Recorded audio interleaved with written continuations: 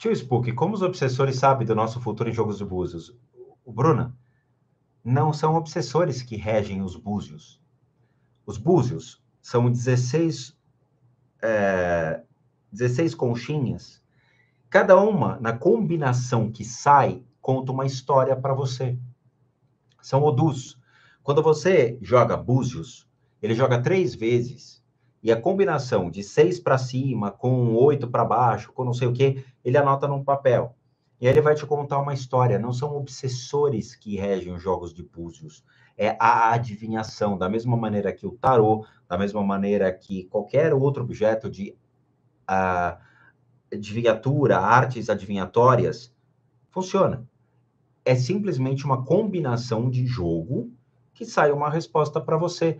Não tem nada de obsessor, não é obsessor que rege jogos de búzios, não é nem obsessor que fala com você, porque quando você faz o batismo em Fá, cessa-se completamente qualquer tipo de comunicação com qualquer ser do mundo espiritual, a não ser única e exclusivamente quem rege os jogos de búzios, que é o Ifá. Mais nada. Mais nada. Eu sei disso porque o Baba Lorixá que eu seguia, que eu acompanhava, que eu ia todo dia na casa do cara, ele tinha feito a iniciação na África e ele fez essa iniciação, jogava búzios e ele não não incorporava. Ele simplesmente escutava os guias dele. Não são obsessores que dizem o futuro, é a combinação dos búzios. É a mesma coisa que um tarô. O, a string, string é só adivinhação, só. Veja, se você pegar um, um tarô fizer o jogo como tá, vem um livrinho explicando para você como você joga o jogo de tarô.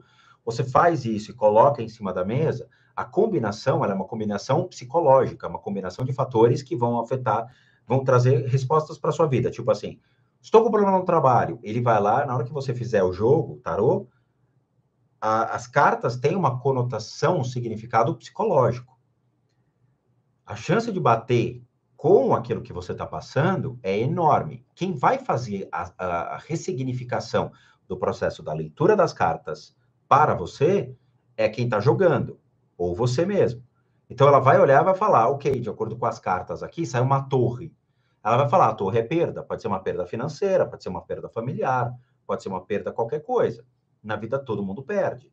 Então, assim, o, o tarot torna-se um elemento muito mais psicológico quem está jogando e tiver uma sensibilidade maior, vai utilizar a sensibilidade para poder ressignificar as cartas e poder realmente dizer se você está ou não passando por aquilo ou interpretar de acordo com aquilo que você está passando.